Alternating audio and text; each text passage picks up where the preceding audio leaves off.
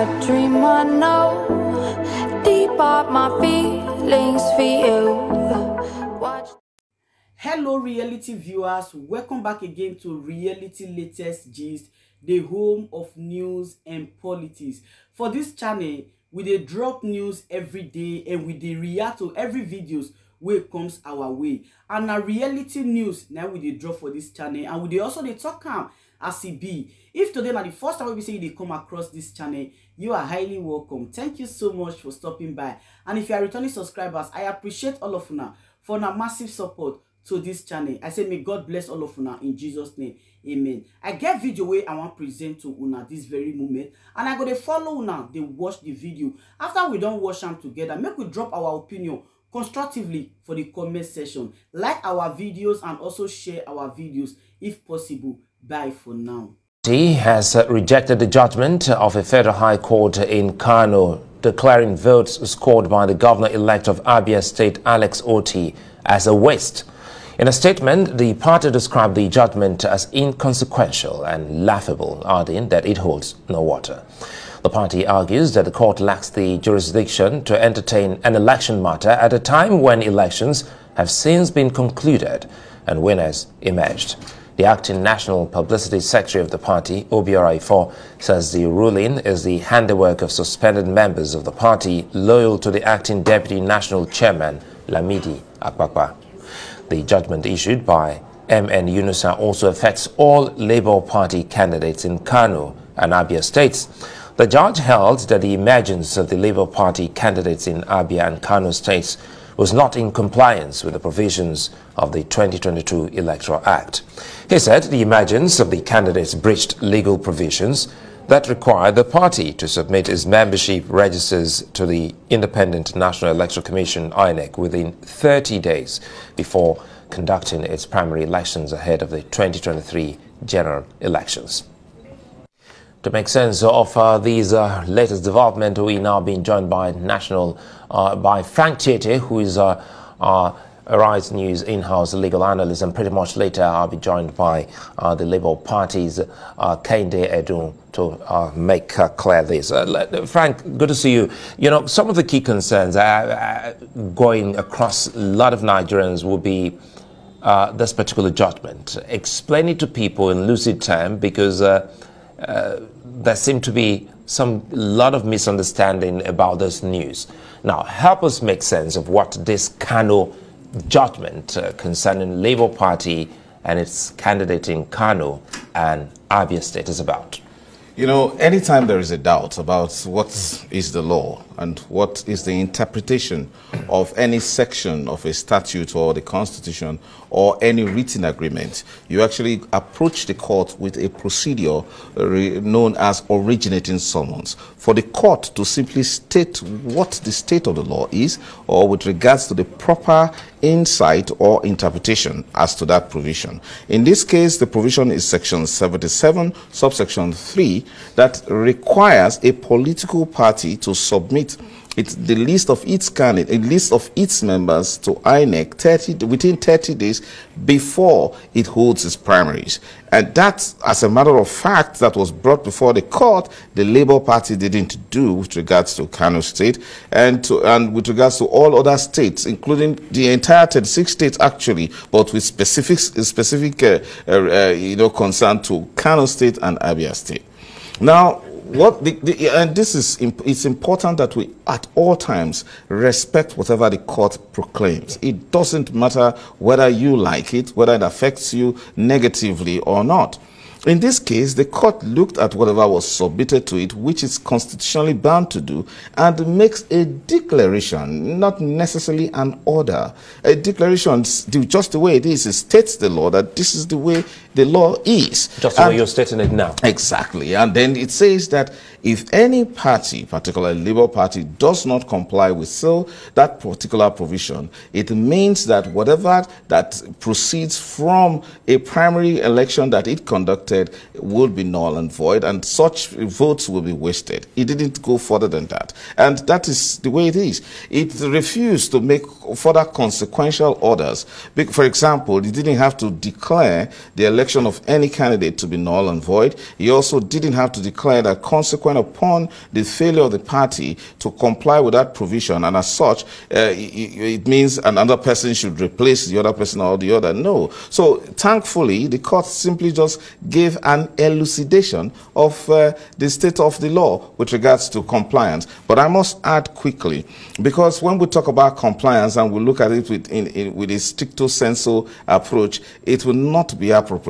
Because we argue all the time, considering section 1, 135 of the Electoral Act, that keeps talking about substantial compliance, that INEC, for example, needs not, you know, totally comply with every scintilla of the, the, the electoral pro, pro provisions, I mean, Electoral Act, and that so long as it makes some mistakes, but it substantially, substantially complies with all the provisions, and so and uh, no election can be declared void in that case. So you can't expect, you can't be holding these standards and then simply say, simply uh, because a, a, a, a political party did not submit the list of its candidates to which it can actually sub submit subsequently, and then you cancel um, primary elections that have been conducted with billions of naira, a court reasonably doesn't do that. But what it has done is to, you know, serve as a warning to legal officers of political parties that they need to man their departments very well.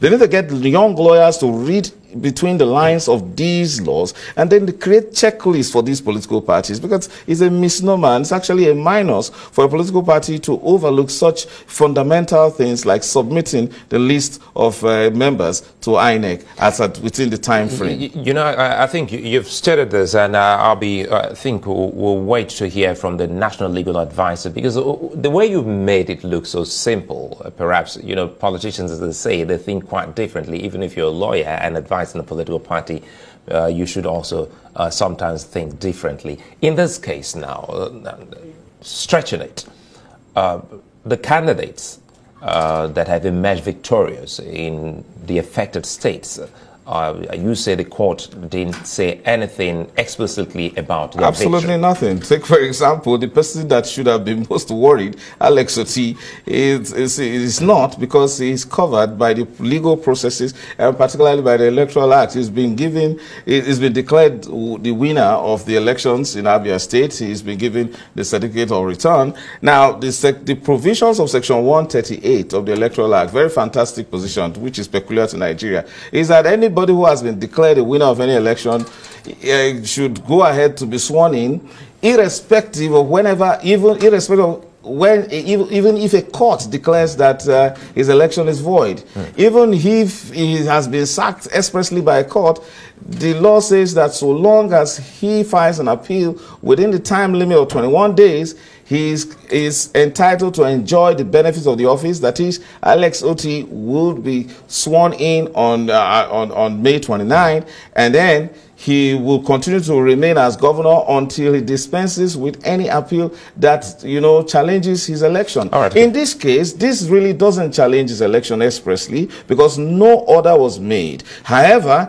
the court has is very clear that the Labour Party was at fault and breach, has breached the Electoral Act okay, and has actually let, let also stated the consequences of breaching the Electoral Act. Speaking of which, uh, now let's look at what's happening now. At the moment, we have the election tribunals going on. And now this is another court in Kano. Oh, well, now, so doesn't this also look as if uh, the uh, there is a usurpation of the electoral tribunals? I don't think so, and that it is not so. There are pre-election matters that can be filed within 14 days after the happening of any action that you know borders on the electoral act or electoral process. Now, in this case, any Nigerian has a right to approach a Nigerian court to interpret the law. That is what the judiciary does, nothing more than that. So it, what has happened in this case is that uh, Ibrahim Haruna, an individual, has approached the court at uh, the court to say, please tell us whether or not the failure of Labour Party to comply with the provisions of Section 77, subsection 3, affects this this to this extent that the the the, the what happened, whatever proceeded, whatever emanated from the primary elections that were conducted in non in non-compliance with Section 77 are void. And uh, that's and then the, court simply agreed with him and stated it so. But what consequences Of, of what consequences would that be? Nothing much because the court actually, the, the, the legal process is like this. When you approach a court for a declaration to state what the law is, and then you support that with a set of facts in the affidavit, now you also now ask the court to make an order based on the state of the law. Now, those consequential orders, those orders that would have been based on the state of the law, were not made by the court. So it, it, it may be disrespectful to say that, it, to address a court that uh, what it has done is a nullity or whatever. However, as a matter of fact, it goes to no issue and nothing actually significant will affect the fortunes of those persons in Labour Party that also, have emerged, this, uh, emerged as this uh, also, winners. This also looks like, even if you've said it, it, doesn't affect the candidates, but again, it looks more like the grand norm. And you're talking about the base. The base is the candidacy and the candidature of these people. So if the court is faulting the candidates, uh, if you stretch it, it will seem as if uh, if, the, if the candidature of these people in these states uh, are questioned by the court, uh, it then means that perhaps some other things that they may have done thereafter uh, is also questionable. There is no doubt about the fact that the court has blamed the Labour Party, faulted the Labour Party for failing to comply with that, with that provision. What is the consequence? Is what we are discussing. Does it affect Alex Otti's uh, uh, victory in, in, the, in, the, in, the, governorship polls of Abia State? No. However, it states clearly, perhaps for subsequent elections, that if you fail to do such and such a thing, you will be in breach of the Electoral Act, and that is capable of actually, uh, you, you know, robbing you of your victory. I must tell you, if that was filed as a pre-election matter by the right parties, particularly persons who participate participated in the primaries, the, uh, setting us to asking that the court should set aside the, the, the outcome of the primaries of Labour Party across the country, it would have been valid, it would have had consequences, and as a matter of fact, the, even after they approached the Supreme Court, there would be the danger that Alex Otti and perhaps other successful Labour Party um, uh, you, you know, members in the various elections will have their elections set aside. But it's not so. It didn't fall within the bracket of what we can actually referred to as a pre-election matter. It also is not a matter before the tribunal, but it is validly a matter brought before the Federal High Court using the process of originating summons. And the court has done very well in the way it has made this declaration according to what it believes is the full interpretation of Section 77, subsection 3. Well, uh, let's see if uh, Kehinde Edun is uh, live now so that uh, he can also uh, speak to us. Uh, let's move on uh, to Kehinde, who is the legal advisor of the Labour Party. Kehinde, uh, thanks for your time. Um, perhaps, uh, if you will, let us in on what the Labour Party uh, hopes to do in pursuit of this. very much for having me. Labour Party is not perturbed at all by this judgment order. We have looked at it and we have found out that it has not affected our fortunes in any way It has not affected the fortunes of any of our elected candidates, and they are good to go.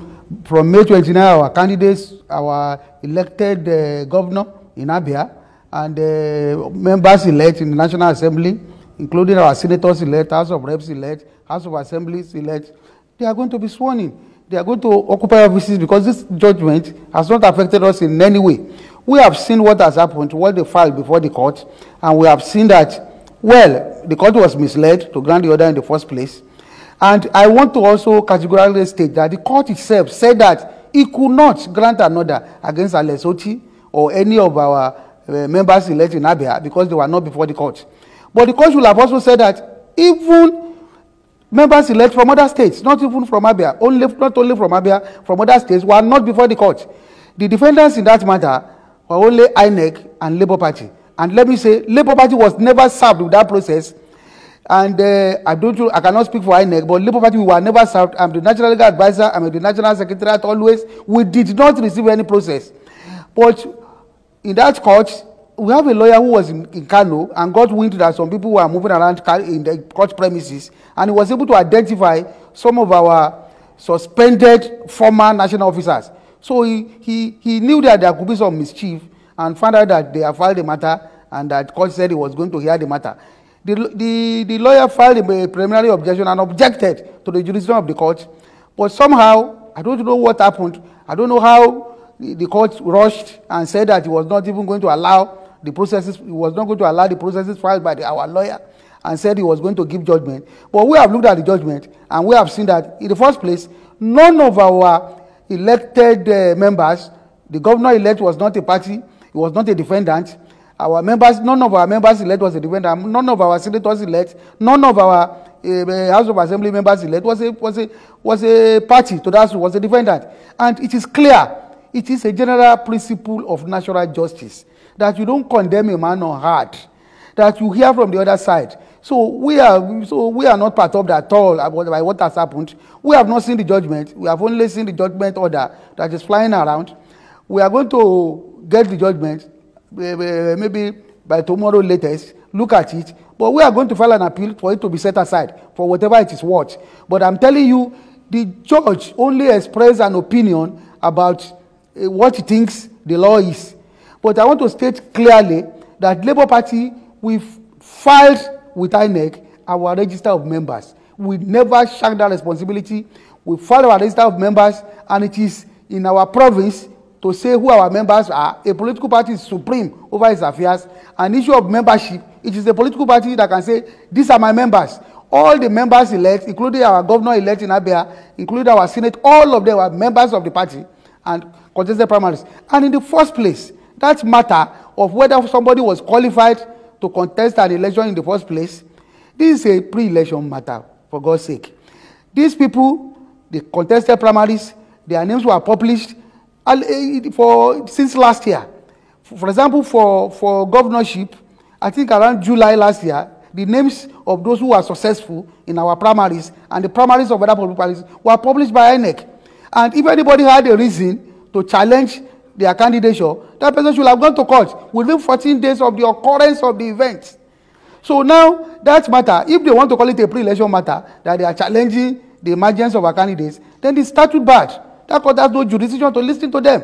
And if they are saying it's a post-election matter, when a person has been elected as either a governor or a senator or a, or a member of House of Rep or House of Assembly, the only way you can go to challenge that election is to go to an election tribunal seven days to the conduct of an election. An election here, uh, uh, kind of, uh, apologies for butting in. I think uh, I asked the same question of uh, Frank Tietie earlier on, and I also bring that to you. But quickly here, uh, unperturbed, undist- I mean, you're, you're, not disturbed by the, the judgment, by the order. Not at all. Not at but all. quickly here, as soon as you're done studying this, what's the next move by your party, being the legal advisor of the Labour Party? Yes, it's a judgment of a court. We are not going to ignore it. We are going to go there to challenge the judgment, file an appeal, make sure that judgment is set aside. Though we are not, there's no injury to us, but we are going to make sure that judgment is set aside. And we are going to present our case before the court. We filed our register of members, both electronic and hard copy, with INEC. And INEC observed while we comply with everything we needed to comply with before they extended our primaries, wrote report on those primaries. Those candidates emerged validly. Their names were published by INEC. Their names were published from July 22, names were published. By August, uh, October 4 last year, finalists of candidates were published. If anybody had any reason to challenge their candidature, should have gone to court back to should have gone to court to challenge it. Another another feature of that judgment is that how do you expect a court in Kano to now be giving judgment against Alex who was not in that court, who was not a party, and who was not from that place? It is strange. But I want to say that the judge even said it in his own judgments that he couldn't give an order against Alesoti and, and the members elect from Abia. I'm surprised that he did also say that even members elect from Kano and other places were also not before the court. I don't know who deceived the court, who misled the court that the uh, Labour Party was served. We never were never served. We were so woody. But now that we have seen the order, for whatever it is worth, we are going to ensure that we, we file a notice of appeal to have it set aside so, so that this thing will be put to rest. But well, we want to state that one of the things that this judgment has brought about is the mischief, and it is the it is the, the harshest job that some of our suspended national officers have been sponsored to do. I think you, you, you, said that much earlier on. I'd like to thank you for your time, Kehinde Edun. Many thanks thank uh, for speaking much. with us here on